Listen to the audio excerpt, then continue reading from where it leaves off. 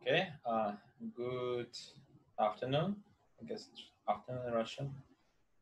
I'm Alex, and today we're gonna have our module number three, our lecture number three, and it will be about analysis and classification of the microblogs. So I hope you enjoyed the previous two lectures, and uh, feel free to reach us to ask any questions if you have any Today lecture will be a continuation of lecture number two, but uh, today we'll be focused much more on the classification and also on the feature engineering when it comes to analysis of microblogs. Plus, we will be focusing on discussing the particular properties of the microblogs as compared to some other traditional media sources you might have. Buckle your belts and let's start. We'll be talking about microblogs, about analysis of microblogs, about classified microblogs, and we'll give some summary. There is an article by one of my uh, colleagues back in the US that you can read about. This is quite a fun read about the real-time uh, microblog analysis algorithms. So, blogging and microblogging. Uh, this is one of the most typical and one of the most um, huge concepts that has uh, emerged together with social media. Pretty much all of our uh, social media uh, that we have is a blogs. Microblogs is uh, blogs where we have elimination to the character.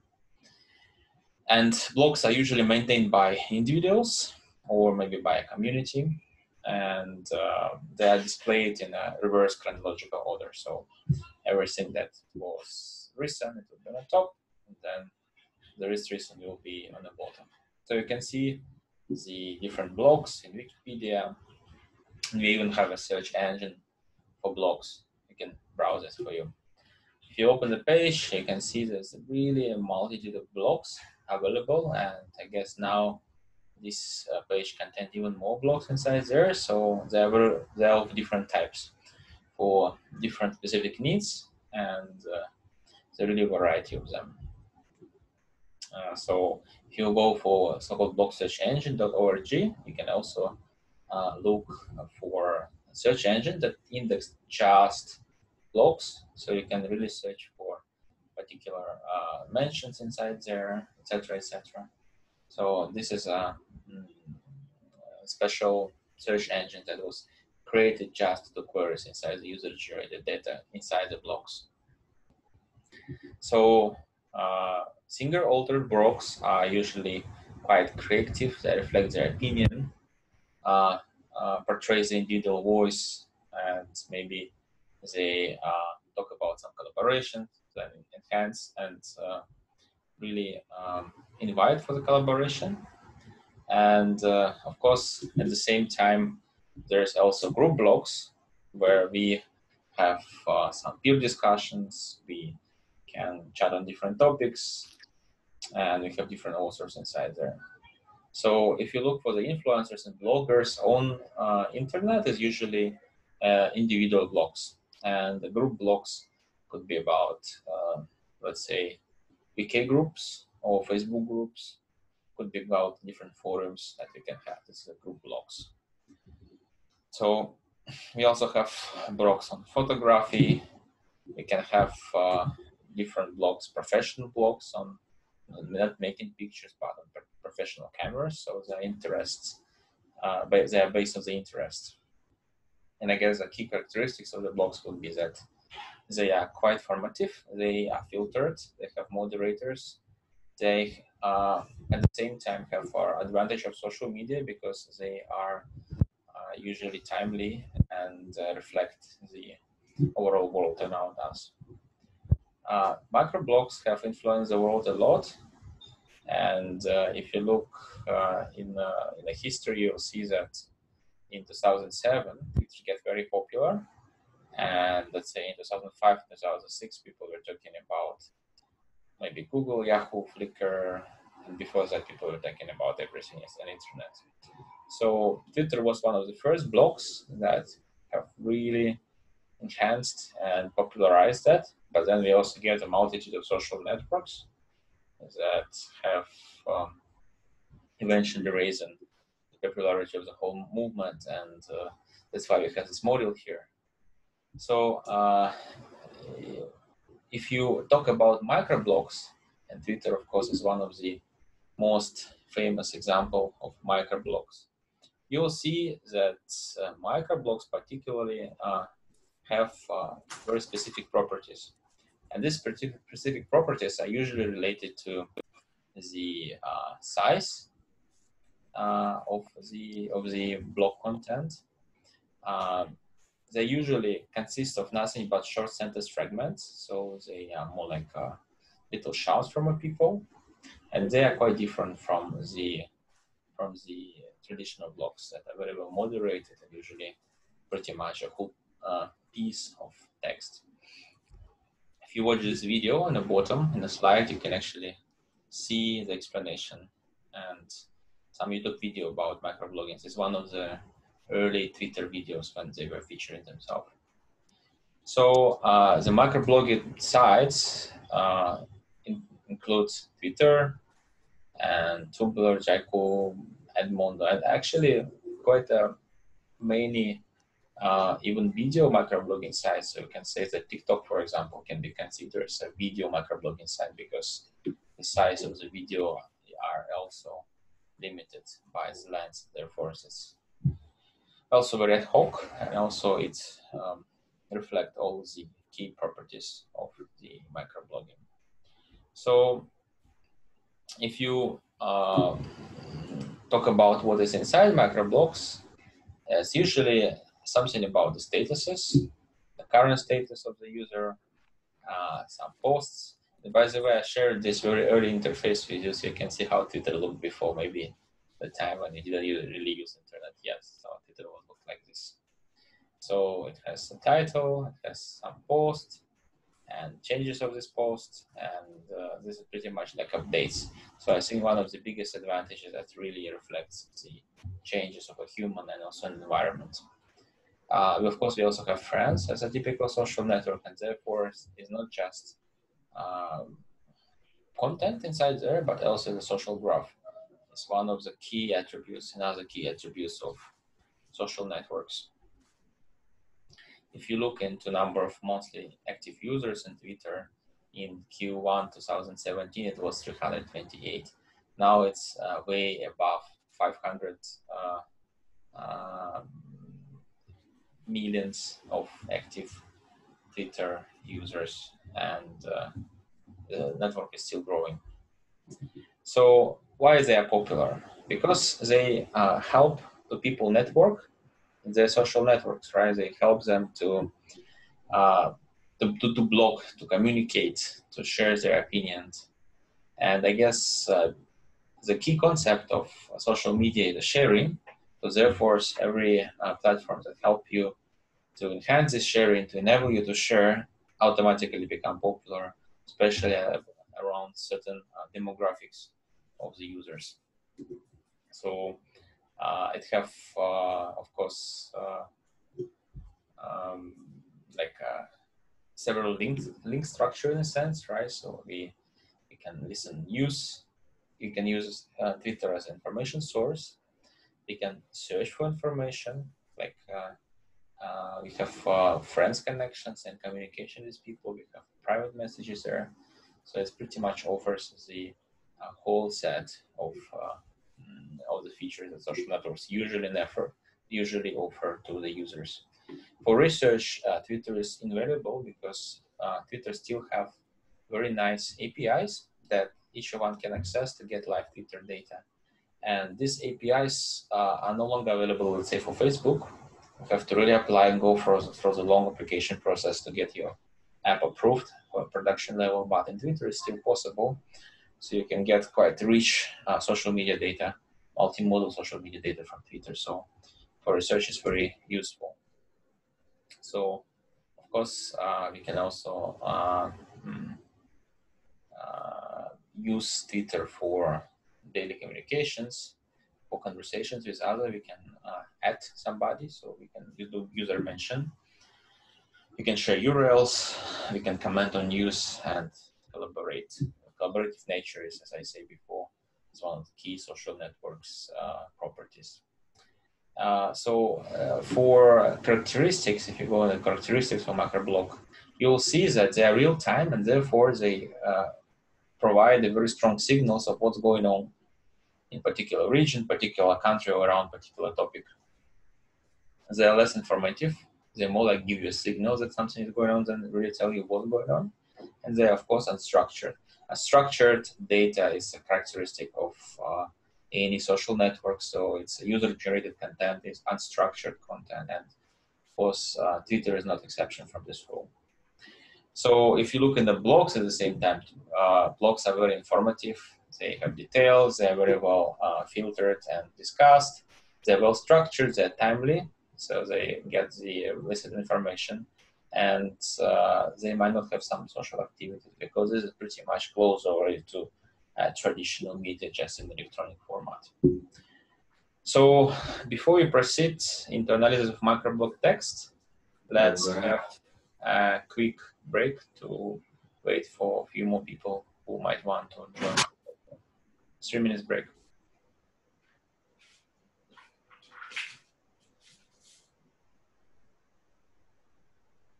Сколько ты будешь заряжать?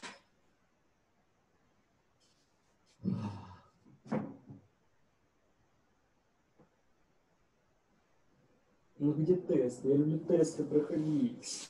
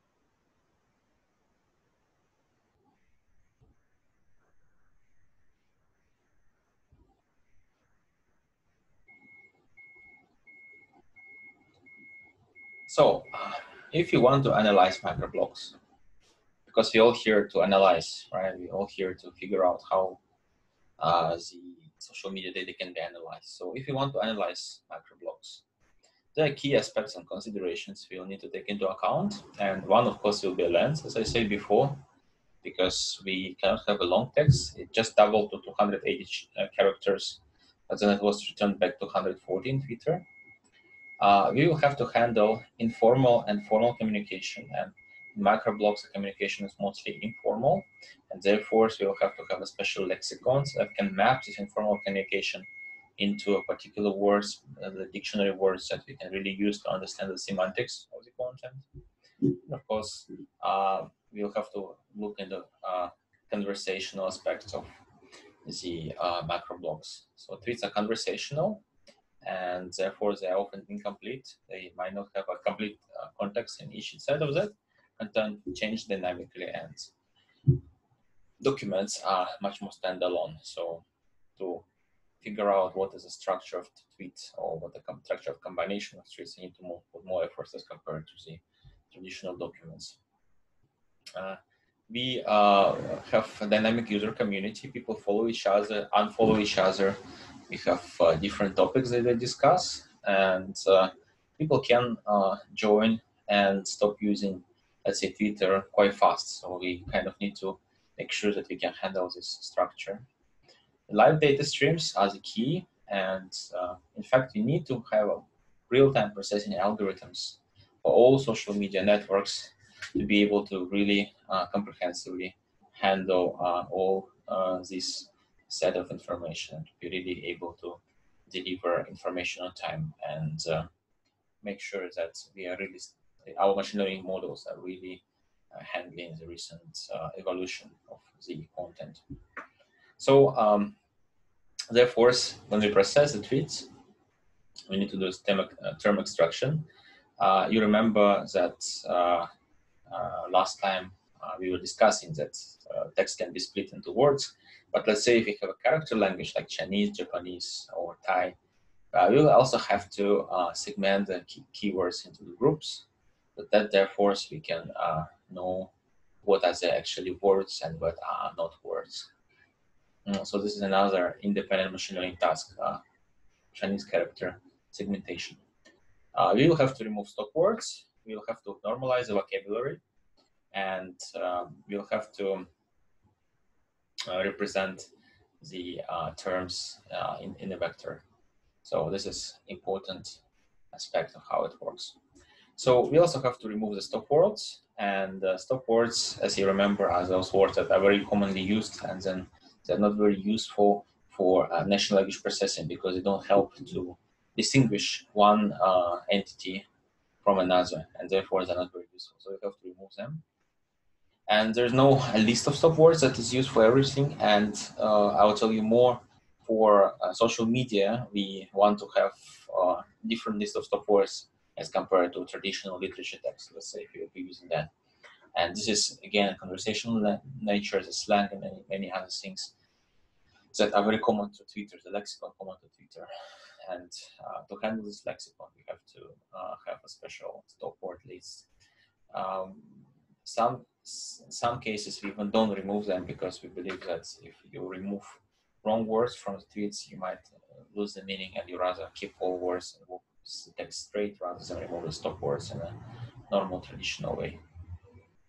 There is a, a list of uh, Twitter and social media analytics stop words and those stop words are adapted for social networks. So you're welcome to learn and use them in your systems.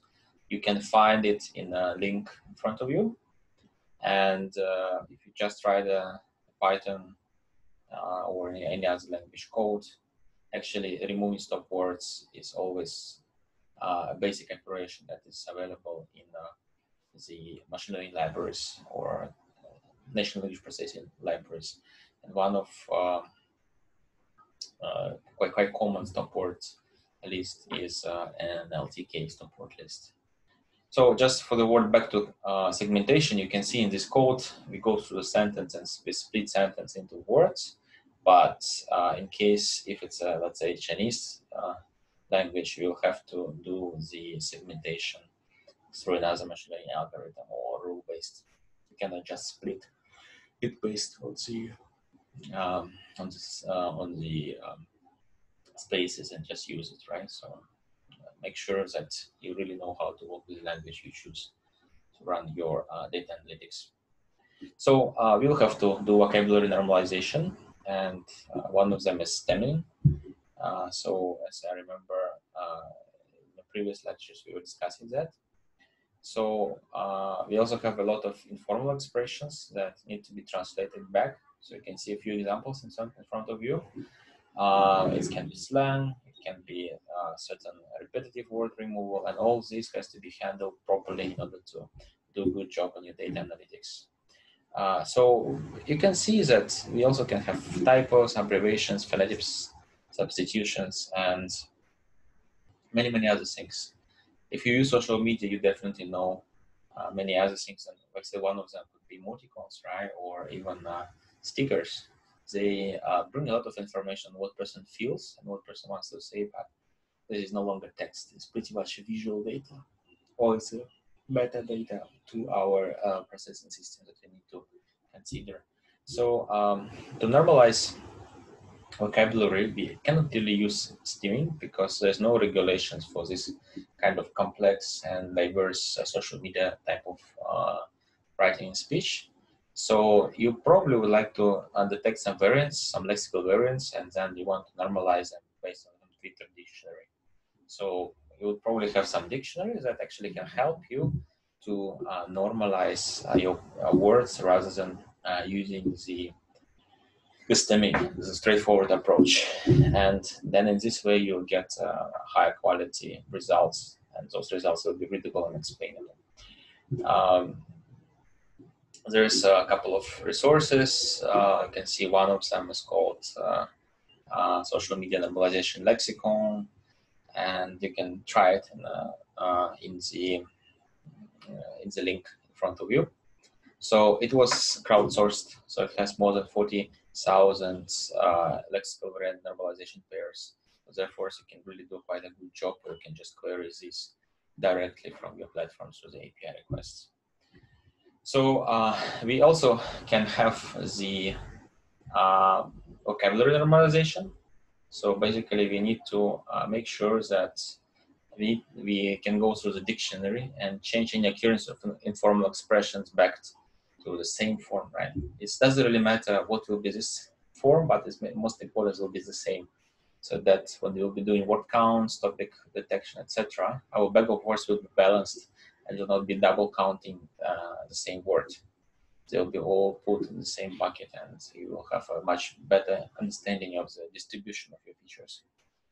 And uh, of course, um, uh, we can also detect uh, lost uh, uh, correct large population of formal expressions found within common streams. So basically, this means that uh, when we have many informal expressions meaning the same thing, we can count them as one and, accumulate the corresponding bar of your distribution that you are processing.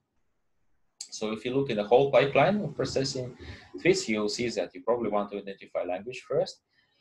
And then based on the language that you have identified, you'll be using the um, informal language normalization using corresponding uh, uh, dictionary to convert your informal language into formal language. Then you'll be removing the relevant text and tokens filtering. So you'll be removing usernames, hashtags, related profiles, and non-alphabetical characters such as emoticons and eventually you'll be uh, discarding the tweets that are too short because unlikely they will bring in too much information for, for your machine learning systems that you're gonna train and uh, run. So uh, now we have the text prepared and we want to really figure out how we want to classify our microblogging text. So we'll discuss this in the next section. And since today we have a little bit less material, let's have another break for three to five minutes.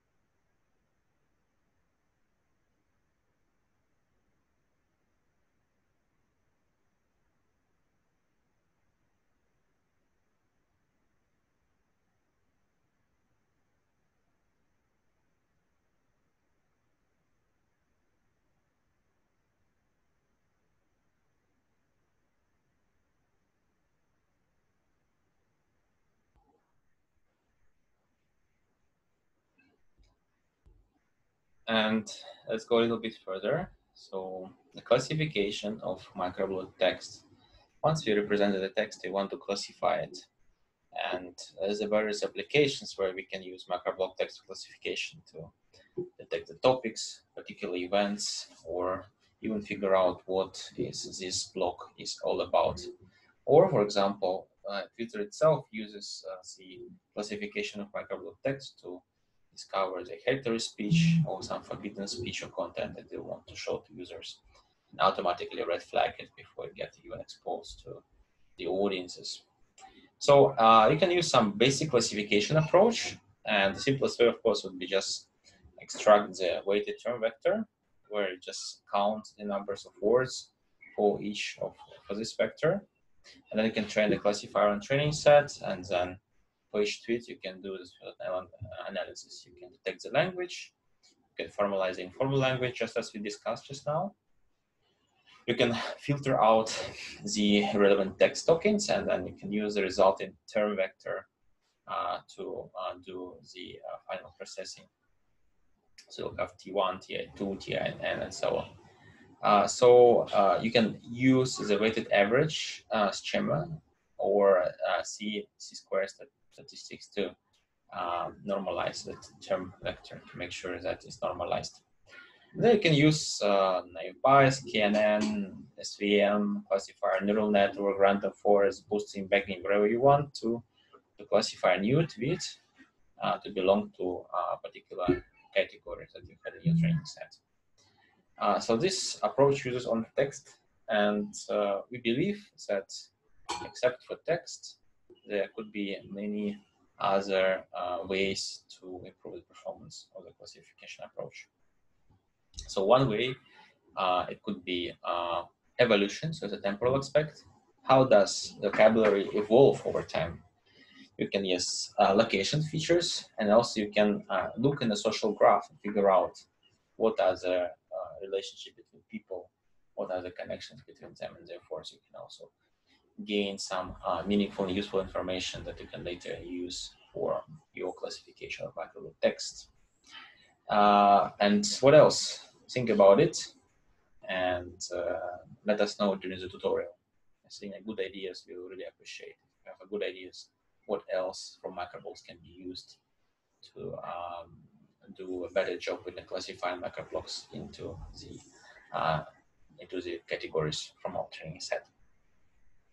So additional uh, features uh, could be evolution text features, location information, social relationships, and uh, uh tweeting tendencies over time. So it's not the evolution of the content, but it's rather the uh, sequences of when the tweet was posted and for what, etc., etc. So, how to handle evolution of the text? There are two approaches. The first one is uh, you can uh, continually train classifier based on a set of features, and you can also, in other ways, assign a lower weights to the text terms that are not used recently, right? So basically, if something was not used, you will uh, not uh, apply high weights on those terms, and then they will play a smaller role in the overall prediction performance.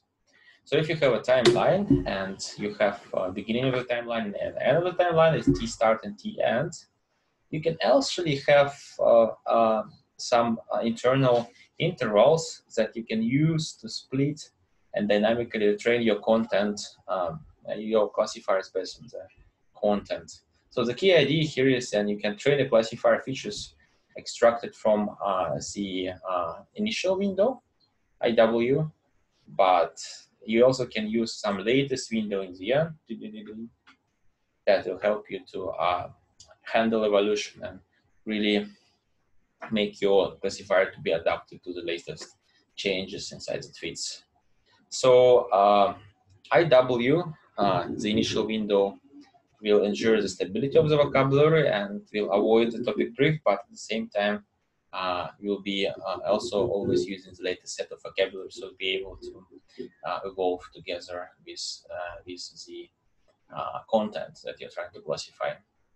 So of course, we need to decide when you want to update IW and DWs. So all those windows and we also need to decide on the size. And we believe when you want to make this kind of decision, you uh, would probably uh, focus on different intervals, and we will really consider the channel, how often people uh, in each channel post, uh, how often updates, how often the trends change, and you could even go further and look at it at an individual level. So every individual probably have different posting um, posting patterns, and therefore they might need to have different evolution videos as compared to uh, how you would be doing it for uh, the same uh, for, for, for, for everybody holistically the same way. So it can be even personalized. So um, then after that, you can actually weight the features based on the temporality, based on how far the words are. So um, for example, lexical and syntactic features uh, have uh, been quite important traditionally for text processing. And uh, if you want to uh, uh, really continue the recent terms, you probably want to weight them higher as compared to the more old terms or those terms that no longer appear. So you can come up with a, a equation something like this, uh, where uh, the theta is some decay factor, and then you have uh, differences of the time inside there, and then you can normalize it and WI is the term frequency of their uh, TI. So it's basically a modification of term frequency metric. Uh, CI that uh, considers the evolution of the term and the different times. And that really helps you to handle this kind of modifications and uh, fluctuations. Uh, so the word feature set uh, used at time t would be computed as the tuples, the, the, the, the, list of couples where you will get the weight of the term and CI, which will be this uh, governing feature. And this vector can be called FC. So um, except for this uh, type of data representation, you can also use the uh, location features. Yeah, so for example, uh, if you take the word ITMO, you will see that ITMO can be many different things. It's not necessarily university it's more, right? Of course, the first one is university, but there are many other ways. So how to distinguish one ITMO from another ITMO? Like it's not that's not interstate theft major offenders, but it's actually information technologies, mechanics and optics, university, right? University are in. So you can use a location. You can see where this has been posted and uh, you can even uh, figure out the location from the text itself. So uh, studies show that location played a really huge role in detecting tweets. So uh, location helps you to predict whether the person is single or married, for example, with 80% accuracy. But it also, given ITMO example, it uh, can tell you that a tweet containing the acronym for the uh, St. Petersburg will will much more likely give likelihood that, that is about location university is more. Uh, but uh, when it, it was came, came from Italy, then it would probably mean that this Italian Trails Medical Oncology uh, ITMO center, right? So, so this is this is how you can differentiate them based on the uh, based on the location that you can infer, and um, uh, you can find location in different places. You can find them from user profiles. This one is a given and easy way to find. So some profiles put a time zone, or uh, people can put a valid geolocation, the city level inside their Twitter profile. But also at the same time, about 3% of tweets have uh, geolocation, or they can put geotag in one of their uh, posts and tweets. And then finally, you can also get the geolocation from a text itself. And uh, you can get it with about 70% accuracy, so it's very useful it's again a separate topic of detecting location from the text of the message. Then with this kind of location in mind, you can do a much better job because you can compare the location difference, the time difference, and geotag difference. Uh, let's say where the location geotag tweets is uh, uh, it's far from a particular directed topic, and if it's it is, then probably this text cannot be classified as a topic, and if they're near, then the probability of classification for this topic will be higher. So one of the last things you can use, of course, is social relationship graph. As we are dealing with social networks, we have explicit relationship defined between people, but we also have implicit relationship when people co-follow uh, each other or interested in the same topic. So implicit relationship uh, basically is a lot of different actions that we are not directly interacting with other people, but at the same time we're still through this action related to them. So you can see people can follow each other, you can uh, retweet each other's post, and then there can be different uh, relationships with such a multi-modal graph consisting of uh, circles as the users and also the tweets with um, our triangles. So uh, tweet relevance can be from some social relationship with people. So relevant users uh, can be those who posted at, at least one relevant tweet on the topic and uh, relevant tweet can be a tweet that belongs to the topic. So so you can actually compute the social feature FS1 that uh, interacts uh, from a relevant tweet or interact from the relevant tweet. So basically, you can see whether this tweet uh, gets uh, interacted with the relevant or with the relevant tweet, and if two tweets belong to similar topics, then maybe the third one, like k nearest neighbors, will be also the same topic. So it's a very useful feature.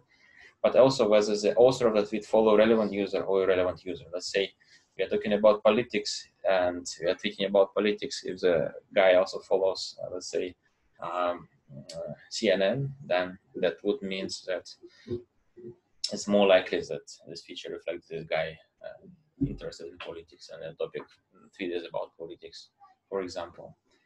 Uh, so these relationships uh, can be considered and for example of ITMO uh, has five twitter accounts and this account of relevant tweets and relevant groups. So based on uh, our studies, about 80% of users related to known accounts within two other accounts away from relevant known accounts can also be, uh, and this information can also be used. So basically it says uh, if uh, uh, I'm a known relevant account and uh, pretty much two more another relevant account related to my account, are likely to be also relevant, 80% chance likely.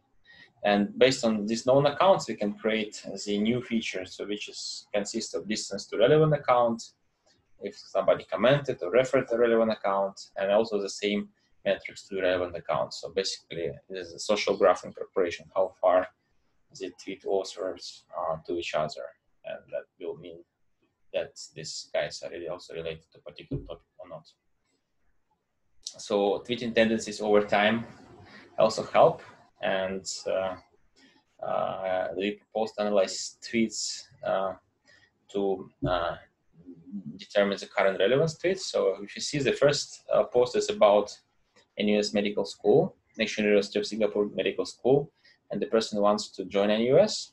Then the second one is also about NUS professors that they travel to another country to give a uh, lectures and participate in breast cancer research. But in the third tweet, the author actually didn't mention NUS, but you can infer that it's also about NUS from the first two tweets.